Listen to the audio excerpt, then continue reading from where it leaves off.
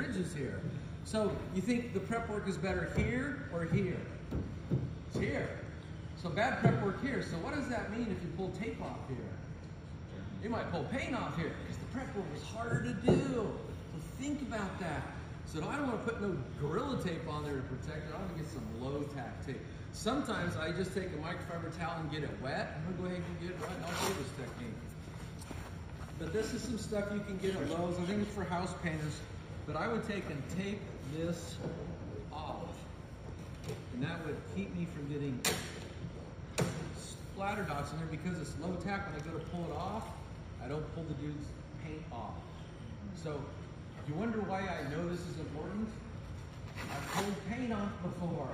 Uh, sorry, I pulled all the paint off the fresh air grill.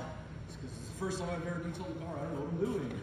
Okay, so here's another way. If, you, if you're working on a car and you really just don't want to take any chance at all of pulling the tape off, but you want to cover it up, get a microfiber towel wet. Okay, if it was dry, turn that buffer on and hold it up. Turn on. That's creating an air current. So not only could you grab with the, the air current alone would grab a dry microfiber towel and blow it, but what about a wet towel? Doesn't it now have some weight? Have some weight to it. Get it wet, throw it on there. Go ahead, put it on there. You just covered it up, you don't gotta worry about pulling tape. Just be careful you don't run your polisher into it. And when I get down and I get ready, I wanna do this spot right here, I go ahead and pull it back a little bit, but I don't, let me see that. Uh, someone hand me the compound up there. I, I try to share a lot of techniques. So when I wanna um, do intricate work, I put some product here to draw from, and I take my product spreader. Now, my product spreader looks a lot like my finger. And the cool thing is, is I take it everywhere I go. So I always have my product spreader with me. And I take and I get some product and I spread it where I want to buff. Now, what am I putting right there? I'm putting two things. What are they? A guideline. Lubrication and abrasive. Lubrication and abrasives. Okay, compounds have abrasives in them.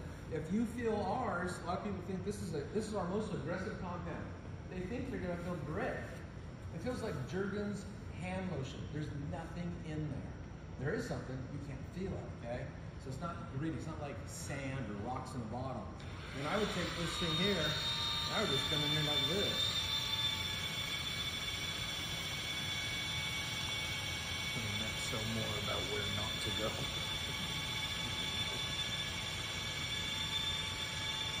Light touch. Boom, made in China. You see how I, I put some product, but just a little bit, so now I didn't that's one thing I do. I always put product and draw from it.